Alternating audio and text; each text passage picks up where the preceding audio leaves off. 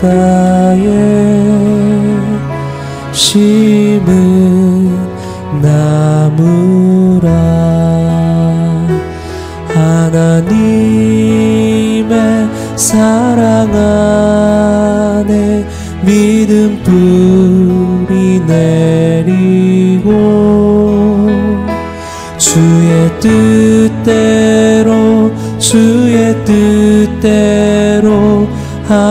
항상 살리라 할렐루야. 사랑하는 도인 가족 여러분, 명절을 앞두고 있는 주간입니다. 웃음이 있고, 감격이 있고, 또 간증이 있는 행복한 명절 보내시기를 주님의 이름으로 축복합니다. 이번 주 요절은 요한계시록 7장 10절입니다. 요한계시록 7장 10절 함께 암송하시겠습니다. 시작.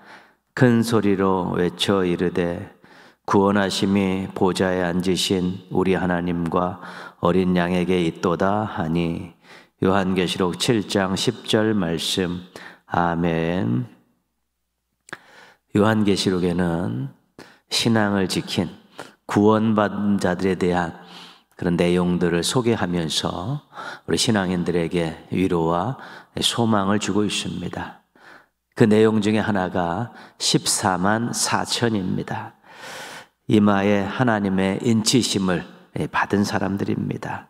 어떤 이단은 이 14만 4천을 실제 숫자로 주장하면서 따르는 추종자들에게 많은 것을 요구하며 14만 4천에 들자라고 그렇게 제안을 하고 있습니다. 성경을 잘못 해석하고 있기 때문에 그렇습니다. 요한계시록 7장 9절에 있는 이 표현을 관과했기 때문입니다. 각 나라와 족속과 백성과 방언에서 아무도 능히 셀 수 없는 큰 무리, 아무도 능히 셀 수 없는 큰 무리, 근데 14만 4천 이렇게 상징적으로 표현한 것입니다. 전 세대를 걸쳐서 구원받은 모든 사람들을 통칭하는 그 숫자가 14만 4천입니다. 흰 옷을 입고 손에 종려가지를 들고 하나님 보좌 앞과 어린 양 앞에서 찬양을 부를 수 있는 사람들입니다. 그들이 부르는 찬양의 내용이 오늘 우리가 함께 암송한 내용입니다. 이 노래는 구원의 노래입니다. 구원받은 사람들이 감격을 가지고 하나님 보좌 앞에서 어린 양 앞에서 부르는 노래입니다. 구원하심이 보좌에 앉으신 우리 하나님과 어린 양에게 있도다. 보좌에 앉으신 하나님, 십자가에 피 흘려 죽으셔, 죽으셔서 대속해 주신 어린 양 예수님, 그 사랑과 희생을 기억하며 감격하며 목이 터져라 찬양을 부르고 있는 것입니다. 우리 믿음의 선배들이 그 하늘 합창단에 이미 입단하셨습니다. 신앙 때문에 환란과 핍박을 받았지만 찬양을 부르는 새로운 인생으로 거듭났습니다. 시험과 유혹을 이겨낸 사람들도 영원토록 찬양을 부르고 있습니다. 찬양대가 우리의 입단을 기다리고 있습니다. 유혹과 시험이 있어도 아무리 어렵고 힘들어도 신실하게 신앙생활 하시고 진실하게 사회생활 하십시오. 그러면 그 찬양대에 입단해서 영원토록 하나님을 찬양하는 복을 누리시게 될 것입니다.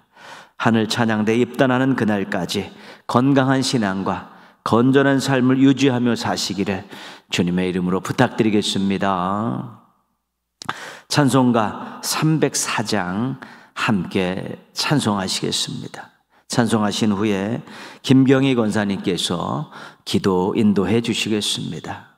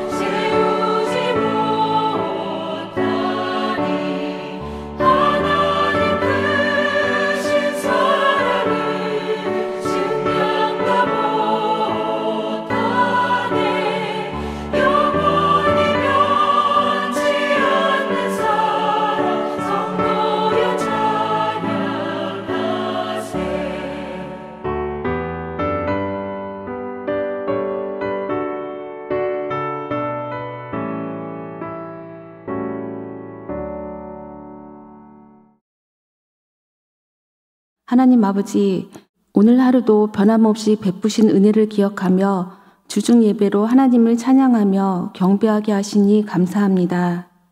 때론 고단한 삶과 희미한 미래가 저희를 흔들어 아버지의 사랑을 의심할지라도 날 위해 베푸셨던 십자가의 은혜를 묵상하며 성실하신 아버지의 섭리를 신뢰하며 살아가도록 도와주옵소서.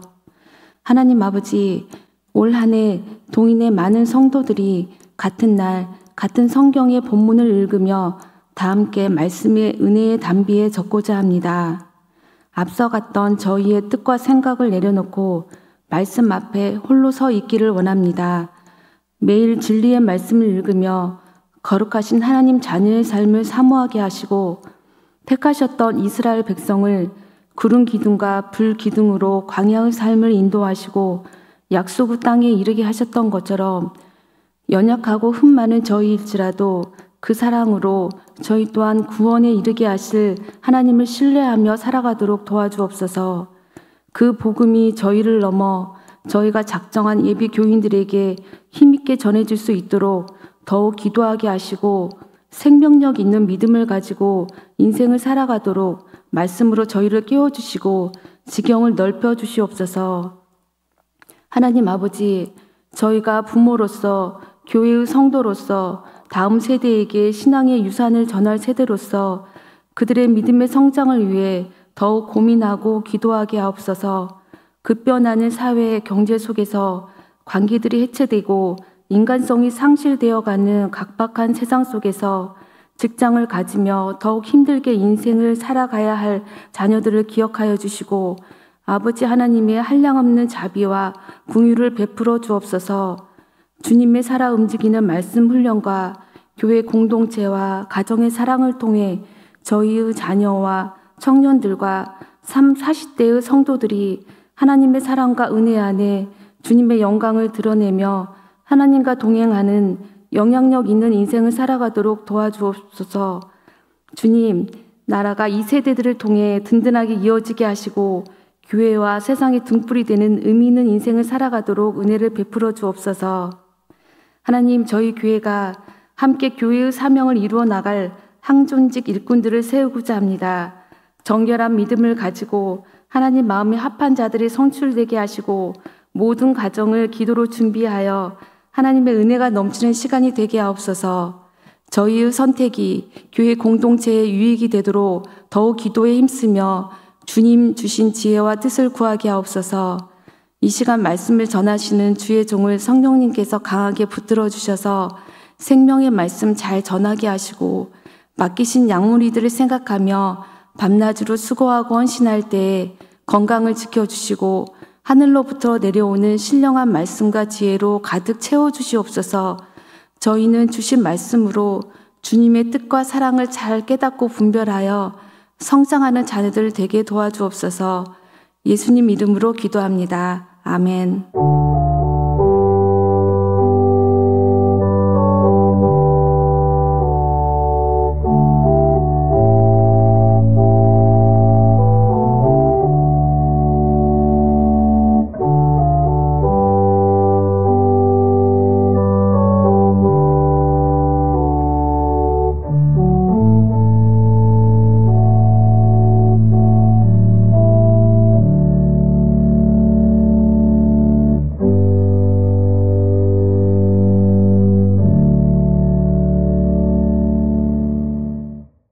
주신 하나님 말씀은 신약성경 마태복음 3장 16절 17절 말씀입니다. 마태복음 3장 16절 17절 말씀. 우리 함께 한 목소리로 같이 읽겠습니다. 예수께서 세례를 받으시고 곧 물에서 올라오실새 하늘이 열리고 하나님의 성령이 비둘기같이 내려 자기 위에 임하심을 보시더니 하늘로부터 소리가 있어 말씀하시되 이는 내 사랑하는 아들이요 내 기뻐하는 자라 하시니라. 아멘. 우리 시간에는 2023년 10월 8일 호산나 찬양대의 찬양으로 하나님께 영광 돌리며 또 은혜를 나누도록 하겠습니다.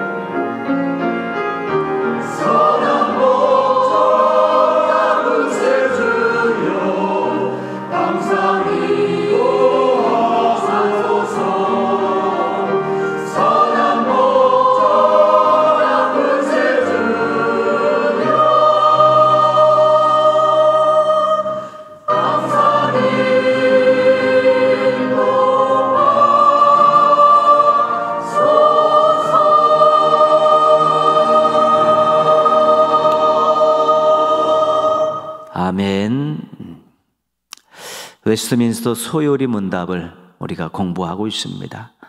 예, 주중 예배 올해 시작하면서 우리 교리 공부를 한번 하자는 예, 그런 취지로 시작을 했습니다. 칼빈의 장로교 전통의 정수를 보여주는 이 교리 문서가 웨스트민스터 소요리 문답입니다.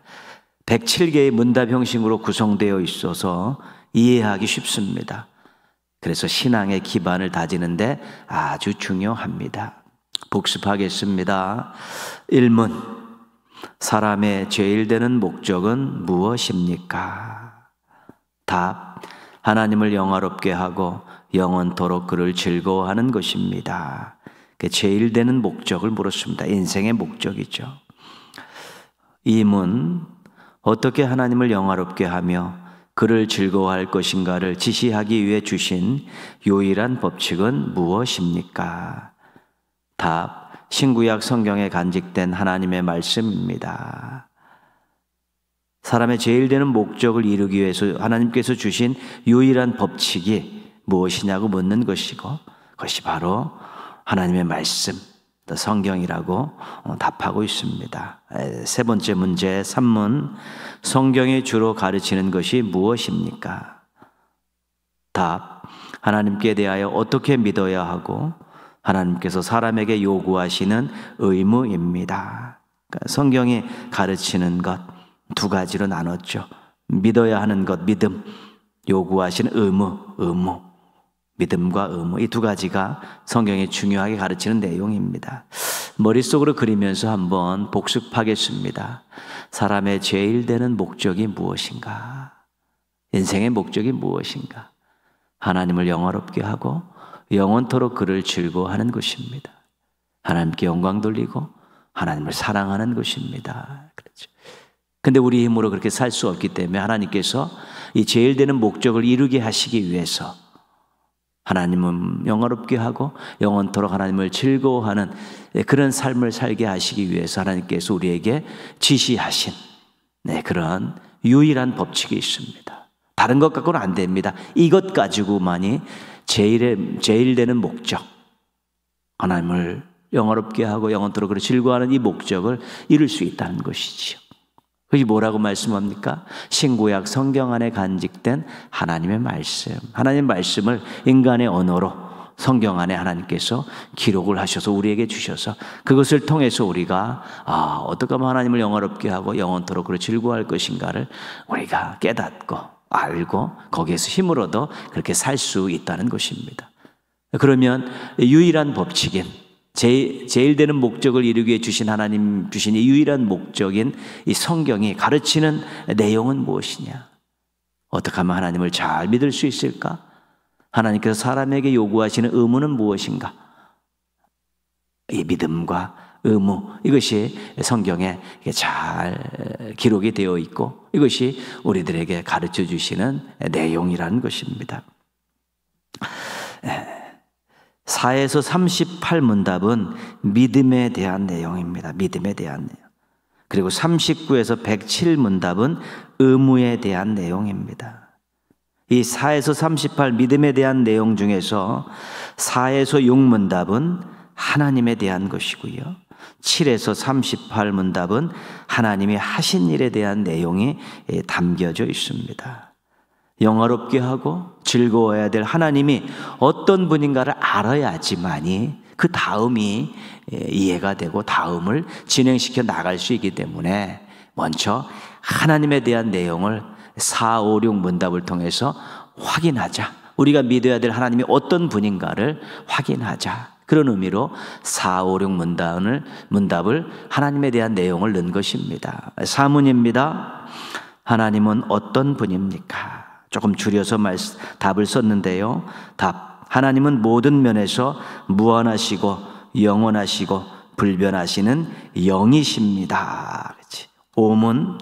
하나님 한 분 외에 더 많은 신들이 있습니까? 답. 하나님은 오직 한 분이시며 살아계신 참 하나님이십니다. 하나님은 인간들이 볼 수도 없고 만질 수도 없는 영입니다. 영. 피조물들과는 다르게 분이죠. 피조물들은 다 보고 만질 수가 있지만 하나님께서는 보고 만질 수 없습니다. 뿐만 아니라 무한하시고 그 크기가 어느 정도인지 가늠이 안 됩니다. 영원하십니다. 어디서부터 시작해서 어디 끝까지 존재하시는 분인지 우리가 알 수 없습니다. 불변하신 분이죠. 환경에 영향을 받고 흔들리거나 또 무엇이 바뀌는 그런 분이 아니라는 것입니다. 무한하시고 영원하시고 불변하시는 영이시라는 것이죠. 그래서 인간들을 우리는 유한하고요. 우리들은 한시적이고 급변한 그런 인간들이 지식과 경험으로 파악할 수 없는 그 신이 우리의 영이신 하나님이신 것입니다. 감히 감히 우리가 다 알 수도 없는 그런 분. 그분이 우리가 믿는 하나님이시라는 것이고요. 하나님 말고 인간들이 우리 살고 있는 신에 우리가 신이라고 이야기하는 것들이 많이 있습니다. 그러나 그것들은 전부 예, 인간들이 생각으로 만들어냈다든가 인간들이 손으로 만들어서 섬기는 것이지 진정한 신은 아니라는 것입니다. 우리가 믿는 하나님은 창조주 하나님이십니다. 창조주 하나님은 온 우주 만물을 만드셨죠. 그렇기 때문에 인간이 만들어낸 신, 인간이 어떤 재료를 가지고 만든 신들은 신이 아닙니다. 피조물 갖고 만든 것들은 진짜 신이 아닙니다. 그래서 다른 신들은 하나님께서 만드신 것들로 만들어졌기 때문에 진정한 신이 아니라 성경에서는 그런 모든 것들을 우상이다. 그렇게 이야기하는 것입니다. 하나님 말고 참된 신은 없습니다. 다른 신은 없습니다. 신이 아닙니다. 우상입니다. 무한하시고 영원하시고 불변하시는 영이신 그 창조주 하나님만이 참 하나님이신 참된 신이시고 우리가 믿고 섬겨야 될 유일하신 하나님이십니다. 오늘은 육 문답을 공부하겠습니다. 육문입니다. 여섯 번째 문제. 하나님의 신격에는 몇 위가 계십니까? 사람에게 인격이 있듯이 하나님에게는 신격이 있습니다. 피조물인 사람이 가진 인격과 창조주 하나님께서 가지신 신격은 비교할 수 없는 것입니다. 존재 방식이 다르기 때문입니다. 하나님은 스스로 존재하시는 분입니다. 누구에 의해서 만들어진 분이 아니기 때문에 스스로 존재하기 때문에 어떻게 존재하는지는 아무도 모릅니다. 어떻게 존재, 어떻게 합니까? 스스로 계신 분이고 그 하나님께서 모든 것들을 만들으셨는데 만들어진 존재들이 스스로 계신 분이 어떤 존재 방식을 가지고 있는지 알 수 없는 것입니다.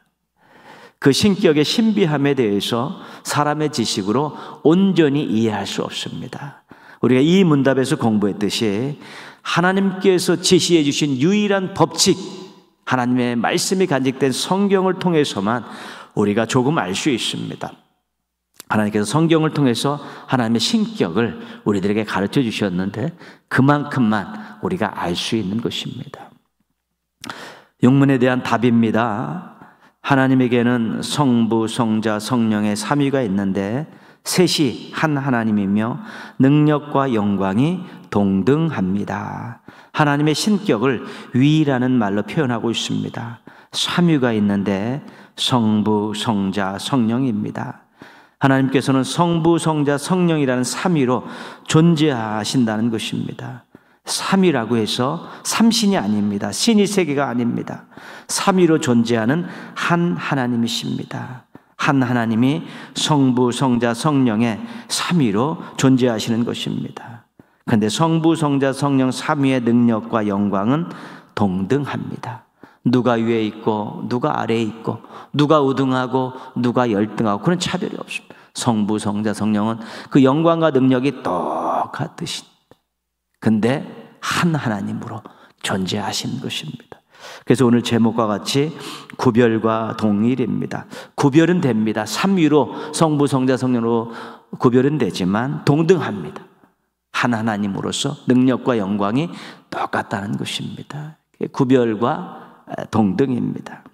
그래서 이것을 교리적인 용어로 삼위일체라고 이야기합니다. 삼위일체. 성경에는 없는 단어입니다. 세 위가 성부, 성자, 성령이 한 몸으로 하나님을 이루고 계시다는 것이죠.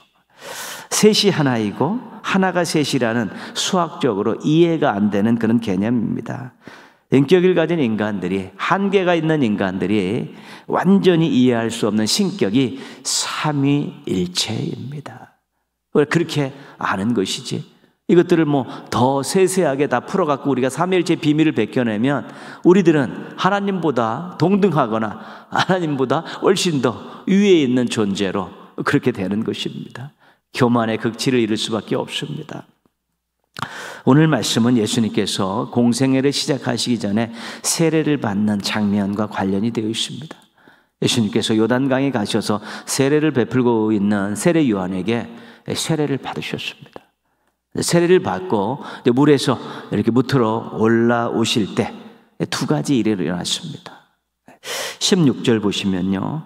하늘이 열리고 하나님의 성령이 비둘기 같이 내려 자기 위에 임하심을 보시더니 하늘에서 성령이 비둘기 같이 임하심을 보셨다고 했습니다. 시각, 시각으로 하늘에서 성령님께서 쫙 비둘기 같이 예, 본인에게 이렇게 내려오시는 것들을 보신 것입니다. 17절입니다. 하늘로부터 소리가 있어 말씀하시되 이는 내 사랑하는 아들이여 내 기뻐하는 자라 하시니라. 하늘로부터 소리가 들렸습니다. 하늘로부터 들리는 소리. 이는 내 사랑하는 아들이여 내 기뻐하는 자라. 내 사랑하는 아들이여 내 기뻐하는 자. 누가 하시는 말씀입니까? 하늘에 계신 하나님께서 하는 말씀이 소리로 예수님께 들린 것입니다.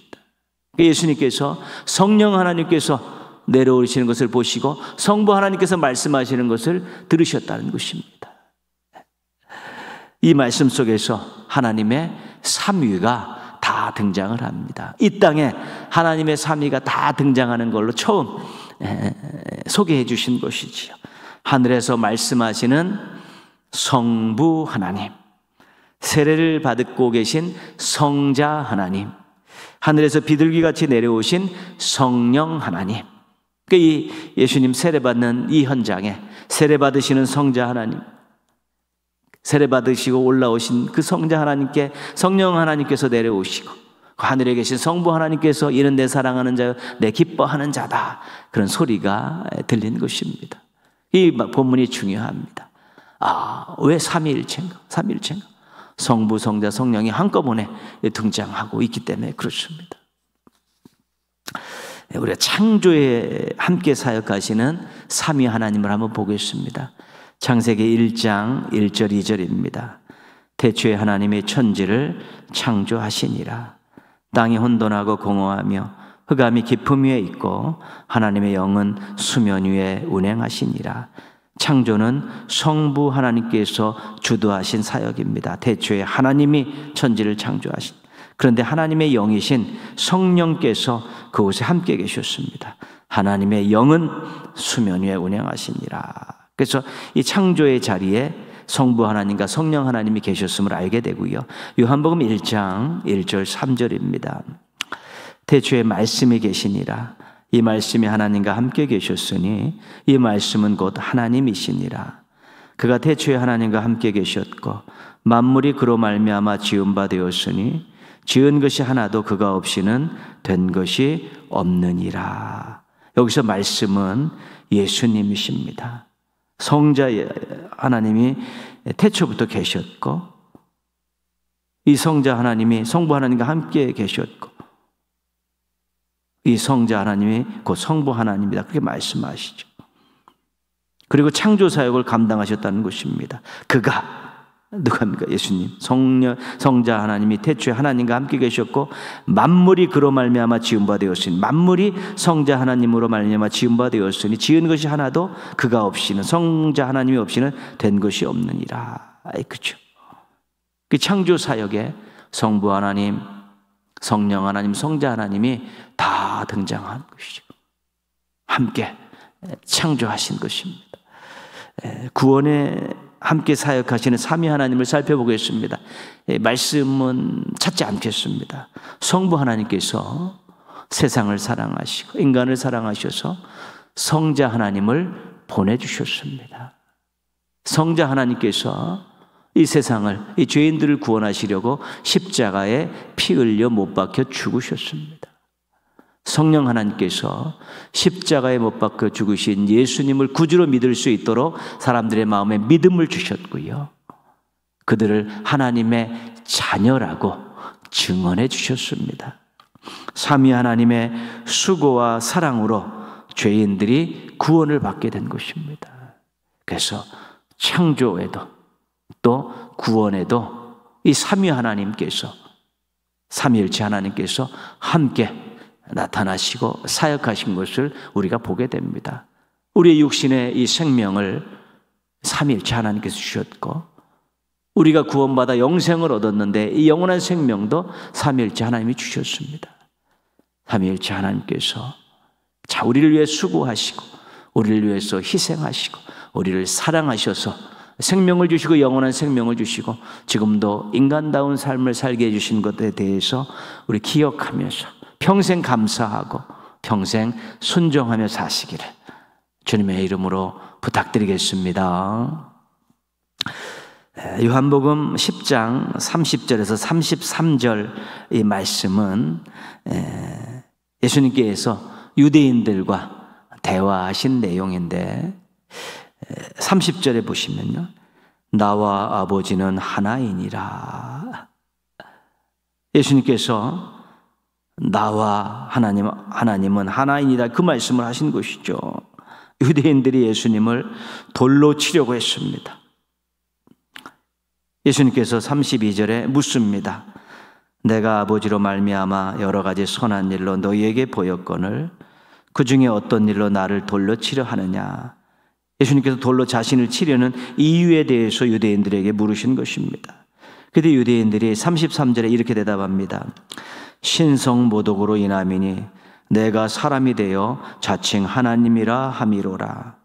사람이 자칭 하나님이라고 하는 것은 신성 모독이기 때문에 돌로 친다고 대답했습니다. 오직 감히 인간이 자신을 하나님이라고 이야기하고 하나님의 아들이라고 이야기하냐 그것입니다. 유일신 하나님을 믿는 유대인들에게는 자신이 하나님이고 자신이 하나님의 아들이라고 말한 것이 용납될 수가 없는 것, 신성모독이라고 돌로 치려고 했던 것입니다. 예수님께서 돌에 맞으실 줄 알면서 이 말씀을 하신 이유는 사실이기 때문에 그렇습니다. 진리이기 때문에 그렇습니다. 무지한 자들에게 예수님께서 말씀하신 것입니다. 삼위일체를 우리가 다 이해할 수 없지만 말씀이 가르쳐 준 한에서 우리가 알고 믿을 수 있는 것입니다. 그렇게 삼위일체 하나님은 중요합니다. 예. 성부 하나님, 성자 하나님, 성자 하나님은 한 분 하나님이십니다. 성부 하나님은 창조, 성령 성자 하나님은 구원, 성령 하나님은 구원받은 이후의 삶의 주도적인 역할을 감당하는 것으로 성경에 나와 있습니다. 그렇게 우리들에게는 그렇게 하나님이 다가오신 것입니다. 우리 인간들이 볼 때 그런 것입니다. 그러나 실은 삼위 하나님께서 함께 사역하시는 것입니다. 창조도 구원도 구원받은 이후에도 삼위 하나님이 함께 우리에게 선물을 주시고 인도해 주시고 도와주시며 우리를 이끌고 계신 것입니다. 삼위 하나님은 사랑으로 연합이 되어 있습니다. 너무 중요한 것이 성부 하나님, 성자 하나님, 성령 하나님이 사랑으로 연합이 되어 있는 것입니다. 각기 사역이 있으시지만 함께 사역하시고 늘 화합과 조화를 사랑으로 유지하고 계신 것이에요. 절대로 깨지지 않습니다. 인간들의 어떤 모임들이라는 것은 인간들의 관계라는 것은 어떤 이해득실에 따라서 감정에 따라서 막 깨지고 그렇습니다. 그러나 삼일체 하나님, 성부 하나님, 성자 하나님, 성령 하나님의 이 관계는 사랑으로 똘똘 뭉쳐 있고 서로 존중해주고 함께 사역하기 때문에 절대로 깨지지 않습니다. 그 조화, 그 질서, 그 아름다운 모습은 영원토록 유지되는 것이고 우리들에게 모델이 되고 귀감이 되는 것입니다. 우리가 사람들과 관계를 맺고 또 공동체에 속해 있을 때 좋은 관계, 아름다운 공동체를 유지하려 할 때 삼일체 하나님을 우리가 생각하는 것이 중요합니다. 사랑으로 똘똘 뭉쳐서 각자 존중하고 함께 일하는 이 모습이 삼위일체 하나님께서 우리들에게 주시는 아름다운 모습입니다. 이것을 우리가 본받고자 노력하고 기도하며 노력하면 우리도 삼위일체 하나님처럼 사랑으로 하나 될 수 있고 서로 존중할 수 있고 함께 즐겁게 일할 수 있게 되는 것입니다. 삼위일체 하나님을 다 알고 이해할 수 없지만 사랑으로 연합하고 또 서로 존중해주고 함께 사역하는 우리 아름다운 모습을 본받아서 예, 그 멋진 인생들, 멋진 관계들, 또 멋진 공동체들 만들어가는 멋쟁이 성도들 되시기를, 하나님의 자녀다운 성도들 되시기를 주님의 이름으로 축원합니다. 기도하겠습니다. 성경에서 가르쳐 주시는 삼위일체 하나님을 믿고 본받고 살게 해달라고 다 이해할 수 없지만 믿고 말씀에 가르치는 한 믿고 또 그 사랑과 존중과 또 함께하는 동역하는 그 모습들 본받고 살게 해달라고 기도하시고요. 여러분들도 여러분의 자녀들도 우리 동인의 가족들도 그렇게 해달라고 기도하시고 설명절 은혜 가운데 행복하게 보내고 신앙과 삶의 힘을 얻는 귀한 명절이 될 수 있게 해달라고 우리 한번 같이 기도하겠습니다.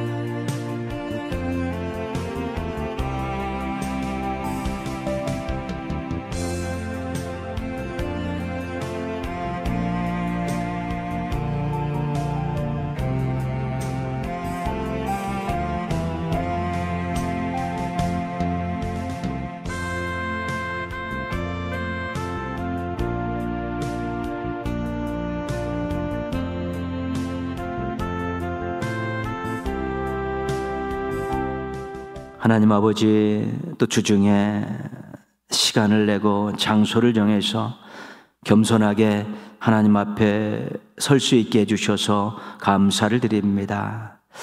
우리가 주중 예배를 각자의 삶의 자리에서 영상으로 드리고 있지만 저희가 함께 하나님 앞에 서 있다는 의식을 가지고 예배 드릴 수 있도록 도와주셔서 감사합니다. 앞으로도 그런 마음 잃지 않고 아름다운 모습으로 예배 드리게 하여 주시옵소서. 하나님 아버지 저희들이 참으로 어리석고 무지해서 하나님에 대해서 전혀 알 수 없는데 말씀을 통해서 가르쳐 주셔서 감사합니다. 오늘 삼일째 하나님에 대해서 말씀해 주셨는데 하나님 저희들이 온전히 이해할 수는 없습니다. 그래도 말씀에 나와 있는 부분만 잘 알고 믿고 살게 하여 주셔서 삼일체 하나님 때문에 더욱더 용기 백배에서 살고 삼일째 하나님을 의지하며 멋지게 살게 하여 주시옵소서. 사랑으로 연합하시고 서로 존중하시면서 함께 사역하는 아름다운 모습을 본받아서 저희들의 삶 속에서 인간관계 속에서 공동체 생활 속에서 실천하며 살게 하여 주셔서. 저희들의 삶의 주변에 아름다운 일들 많이 일어나게 하시고 공동체 안에서 즐겁고 감사할 일 넘쳐나게 하여 주시옵소서. 설명절이 시작됩니다. 하나님 은혜 가운데서 행복한 설명절 보낼 수 있게 하시고 만나는 가족들과 좋은 관계로서 또 좋은 시간들 보낼 수 있도록 은혜 베풀어 주시옵소서.